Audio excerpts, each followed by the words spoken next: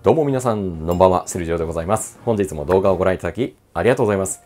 さて、今回もやっていきましょう。あの大人気シングルモルトがリニューアル、新旧ボトル飲み比べレビューということでお届けしていきたいと思います。さて、今回はパッケージリニューアルによる久しぶりの新旧ボトル飲み比べ動画でございます。今回のテーマは近年シングルモルトとしてもどんどん人気が高まっているあのスペイサイドのシェリーダルだったりとかシンダルのキャラクターが輝くようなそういった魅力的なウイスキーを取り上げて新ボトルとのそのラベルの違いを見比べてみたりですとかさらに独断と偏見と経験と妄想で飲み比べを通じましてその魅力を紹介してまいります。どうしてもねパッケージリニューアルをすると前の方が良かったっていうのがやっぱりね出てくる印象がありますけれどもとりあえずねまず否定するよりは手に取って飲み比べてみたらというのが私のスタンスでございますので今回も趣味と偏愛増し増しでその新ボトルの魅力も紹介できればと思います。それでは早速取り上げていきましょう。今回の主役はこちら。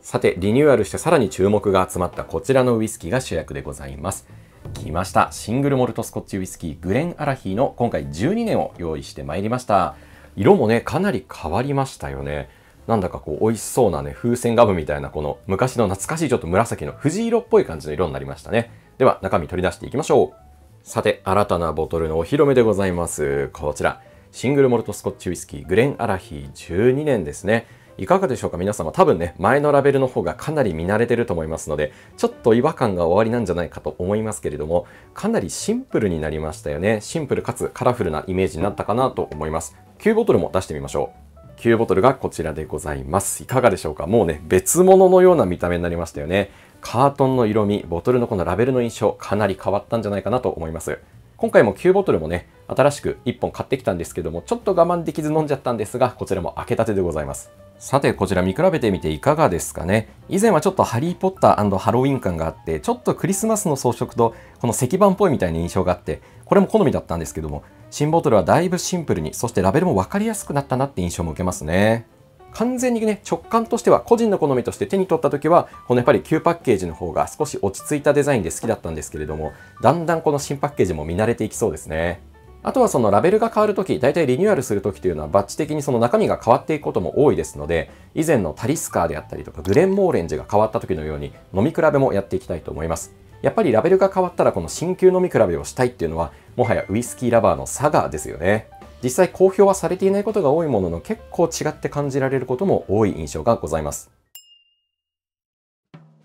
さて、ではグレンアラヒー蒸留所についても簡単におさらいしていきましょう。グレンアラヒーといえば一言で言うんでしたら非常にヘビーで重厚感があってリッチな甘みがこれでもかと詰まったベリーであったりカシスであったり煮詰まったような濃いフルーツっぽさもありますしカカオを思わせるビターなキャラクターもあってそのね重厚でリッチな骨太の味わいが魅力的なシングルモルトというのもよくよく見かけます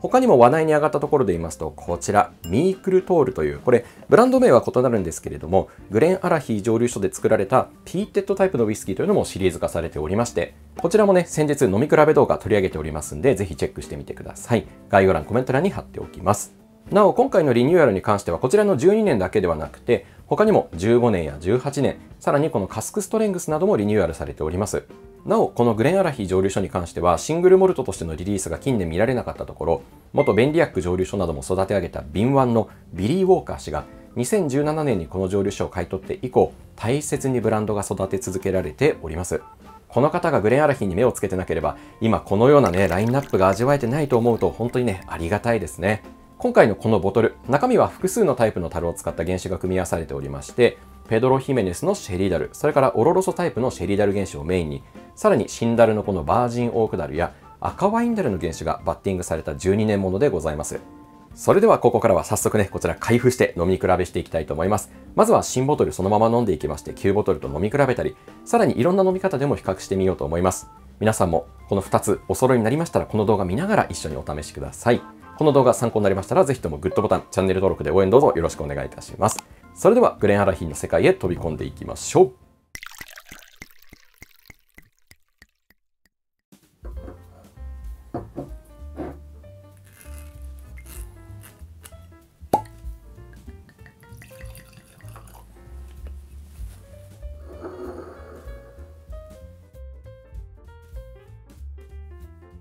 それでは準備完了いたしました。グレンアラヒ12年新ボトル飲んでみたいと思います。まずは色味いかがでしょうか？もうはっきりとわかるこの赤い琥珀色ですよね。深くてすごくねどっぷりと落ち着いたかなり深いアンバーカラーかなと思います。パッと見たらね本当に紹興酒と間違えてるんじゃないかなっていうぐらい本当にね綺麗な色味ですよね。味わいのこのリッチな重厚な味わいを想像させますね。それではまずはこのまま飲んでみたいと思います。今日も一日お疲れ様です。乾杯。いや、これは楽しみですね。早速、まずは香りからいただきます。うわこれこれっていう感じがしますね。うん、最初はこうどっぷりと落ち着いた香りの立ち上がりでして、結構カシスっぽいようなイメージですよね。ちょっと酸味を伴うような、うん、ダークカラーのフルーツっぽさが中心に感じるかなと思います。カシスとかブルーベリーとかですよね。それから結構ね、カカオっぽさみたいな、なんかね、チョコレートのこの粉っぽさみたいなところが結構しっかりと立ち上がってきますね。あのカカオ比率高めなダークチョコレートみたいなそういう要素もかなり強く感じます。それから奥の方にこの焙煎した茶葉紅茶っぽいようなニュアンスもありますね。全体的にこうどっぷりねこう漬け込んでドロドロに溶け合ったベリーやカシスだったりとかそれからキャラメルとかバターとかですねすごく重厚感のある香りですね。いただきます。あー美味しい。いいですね。ちょっと暑いシーズンには重ためかもしれないですけれどもやっぱりこうストレートでガッと納得させられるようなそういうパワーのある味わいですね。ただ飲んでみるとやっぱすごく滑らかさが際立っていて、滑らかビターな印象が強いかなと思います。最初に拾ったのは割とナツメグっぽいようなスパイスっぽさと、それからドライオレンジみたいなですね。それから焼き上げたオレンジみたいな。このオレンジとナツメグだったりとか他のね、このスパイスとかを一緒に焼き上げたケーキみたいな、そういうね、もう海外の甘いお菓子みたいな、そういう印象が強いですね。飲んだ後のこのちょっと舌がザラッと乾くようなね、タンニンもあるので、ダークでリッチで、そしてちょっとこの煮詰めたようなダークフルーツ系のキャラクターが好きな方にはかなり刺さると思いますね。美味しい。では続いてはこちら。9ボトルのグレンアラヒ12年も飲み比べていきましょう。やっぱりこちらの方がね、馴染みのある見た目ですよね。はい、準備完了いたしました。こちらが9ボトル、そして新ボトルでございます。色で比較するとそんなに大きな差はないかなと思いますね。若干この量とかライトのね、当たり加減もあると思うんですけども、どちらも本当に赤みがかったかなりね、綺麗な深い琥珀色をしております。すごい色味ですね。グレンアラヒーの重厚感というのが伝わってきます。ちなみにアルコール度数はどちらも46%で設定されております。それでは改めてスランジバーということで9ボトルもいただきましょ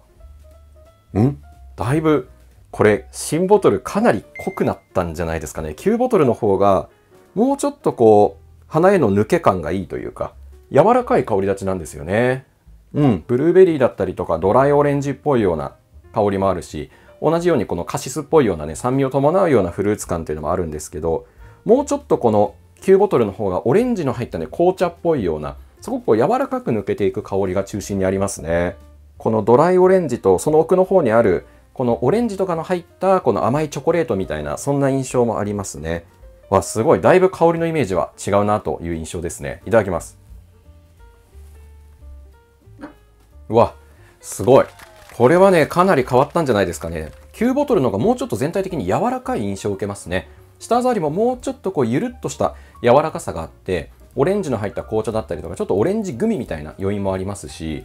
すごく全体的に柔らかくてですね、紅茶っぽい甘さだったりとか、ドライオレンジとかカシスみたいな、そういう味わいはあるんですけど、もっとね、新ボトルの方が、チョコレート感とかココアとかですね、カカオニブだったり結構ビターでどっしりとしたこの余韻がね結構ビターさが続くイメージだったんですが9ボトルの方が全体的に香りや味わいがもうちょっと柔らかくてなんかねフルーツガムみたいなオレンジのフルーツガムみたいなそういう甘みも感じ取れますね。いや、ちょっとこれはびっくりしましたね。これはどうなんでしょうね。割とこの新ボトルになると味わいが軽くなったとか、すっきりめになったっていうご意見とかが多かったりしますし、私もグレンモーレンジとかタリスカーって飲んだ時に、以前あったようなちょっとこのコシみたいな、コクみたいな部分が少し優しくなって、もうちょっとカジュアルで飲みやすくなったなってイメージだったんですが、これはもうその真逆ですよね。旧ボトルよりもはるかに新ボトルの方が重厚感とか重たさがね、加わってる気がしますね。これはその濃いめの味わいが好きな方にはすごくいい変化なんじゃないかなと思いますし、グレンアラヒーにはやっぱその軽快さっていうよりかはね、もうパワフルでドシッとした味わいを好むって方が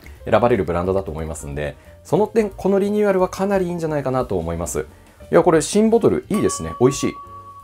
この旧ボトルのがもうちょっとシロップっぽさだったりとか、オレンジと紅茶みたいな柔らかいニュアンスが感じられたんですが、この新ボトルの方がシェリーダルのウッディーさとかスパイシーさとかビターでリッチなイメージみたいなところがちゃんとねこの個性としてはっきりしてるなと思いましたんでぜひこちら飲んでみてほしいです。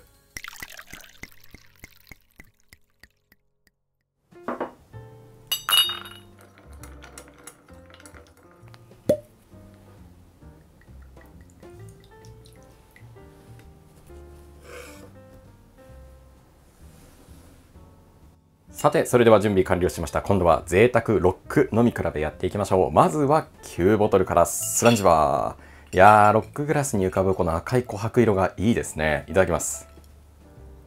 うん。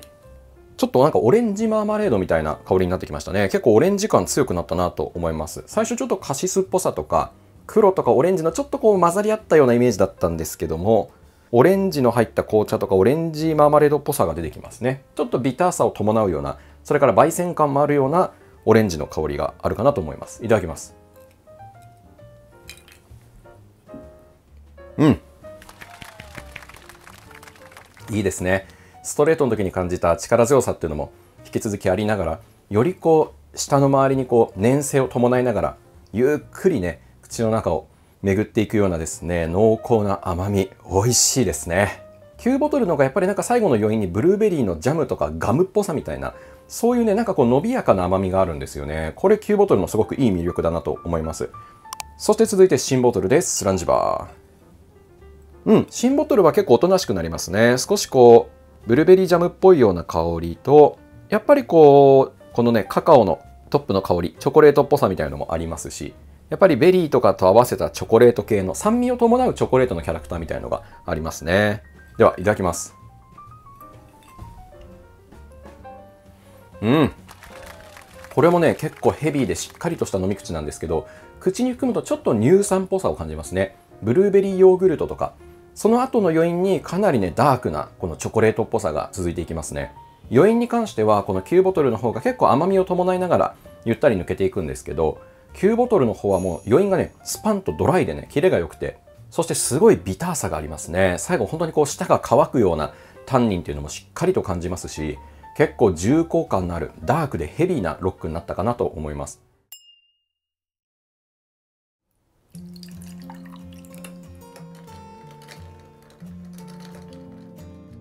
さて最後はですねハイボールも迷ったんですけどやっぱりシェリーダル系のキャラクターが色濃く出てるウイスキーは水割りの方がね伸びるイメージもありますので水割りでそれぞれ作ってみましただいたい割合は1対2.5くらいちょっと濃いめくらいですねそれではまずは9ボトルからスランジバーということで、もうね、すごいですね。アイスティーみたいな色してますね。いただきます。うん、ほんのりと甘い香りで、結構9ボトルはやっぱり割ってあげると、冷えることでね、なんかオレンジっぽさが出てきますね。オレンジ、ドライオレンジとか、うん、すごく綺麗な甘い香りですね。いただきます。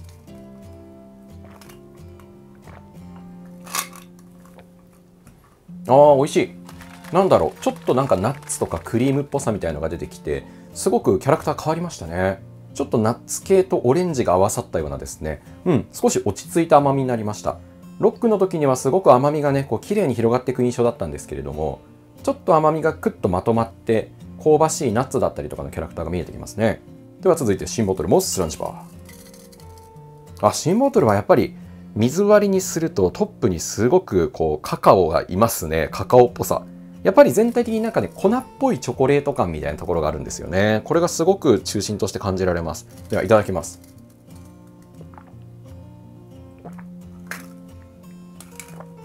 わ、これはなかなか大人な水割りになりましたね。シェリダルなど、例えばマッカランとかの水割りを作った時に感じるメープルシロップとかがこうちょっと水を含んでとろっと甘くなったような感じとは違って、結構ビターさがそのまま伸びていくみたいな印象ですかね。結構ほろ苦系な味わいが好きな方には刺さるかもしれませんが若干水割りでも重ためには感じるとこはあるかなと思います。そんなに最初に感じたようなカシスとかですねプラムっぽさだったりとかこうフルーティーなキャラクターっていうよりかは意外とこうなんかほんと樽のね焼いた後の香りだったりとかビターさが強く残りますね。水割りは私9ボトルの方が結構甘みが伸びるかなって印象はございます。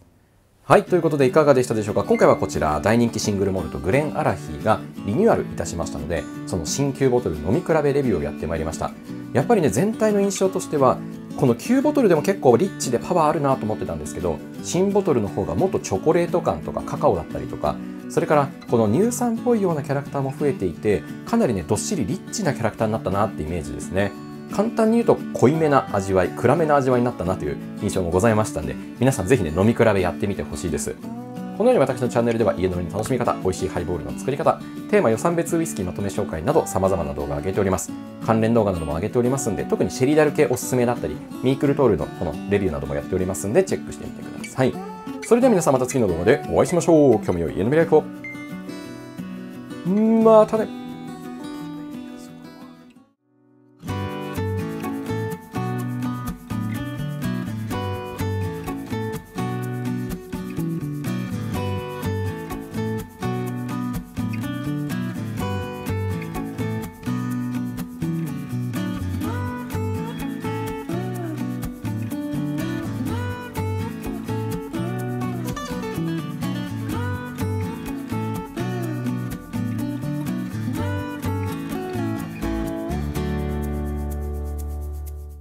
で引くわけにはさて、最後はね、やっぱりこちらですよ。加水しておいておきましたので、20分ぐらい経ちましたかね。こういうね、パッケージリニューアルの時って、やっぱ加水した時が一番分かりやすいなって印象はあるんですよね。こちら早速味わっていきましょう。まずは9ボトルから。うわ、すんごくいい香り。なんかちょっとあんずっぽいような香りも出てきましたね。なんかもっとオレンジとかの果物がこう熟熟になったようなですね、すごくこう煮詰められたようなフルーティーさもありますし、やっぱりこう全体的に9ボトルの方がなんかドライオレンジとかオレンジのジャムっぽさみたいのがありますね。いただきます。あ、美味しい。意外と9ボトル一番加水した時の甘みがすごく好きですね。もうちょっとこう透明感が出るというか、よりクリアで分かりやすいようなフルーティーさが出てくるので、加水した時の柔らかさが素晴らしいですね。では9ボトルもスランジバー。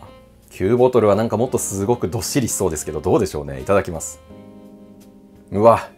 めちゃめちゃチョコレートカシスって感じですね。なんか表面の香りがもっとね、カチッと固めなんですよね。うん、すごく重厚感があって、本当にこう90%以上とかのなんかカカオ比率すんごい高めなチョコレートとかの香りを嗅いでるような、本当にこう嗅いでるだけで舌がちょっと乾くような、タンニンをね、先にこう予知するような、そういう重たさがありますね。いただきます。うん。すごい。だいぶ口当たりは柔らかくなるんですけど、やっぱり全体的に暗めでビターさもあって、ちょっとあの中国茶とかのラプサンスーチョンみたいな、なんかあの、スモーキーな香りのするお茶みたいなですね、そういう、なんかスモーキーな香りが出るっていうタイプではないんですけど、なんかあの、焙煎したような茶葉っぽさとか、そのタンニンを感じるような、すごく重たくてですね、茶葉っぽさが強くなりますね。ただ私飲んでみた印象だとどの飲み方が好きだったかというとやっぱストレートが結構ねしっかりと特徴が感じられていいんじゃないかなと思います。全体的に重たくてずっしりとした味わいを楽しめると思いますんで是非ねいろんな飲み方でも試してみてください。それでは皆さんまた次の動画でお会いしましょう。See you next time またね。よろしくお願いします。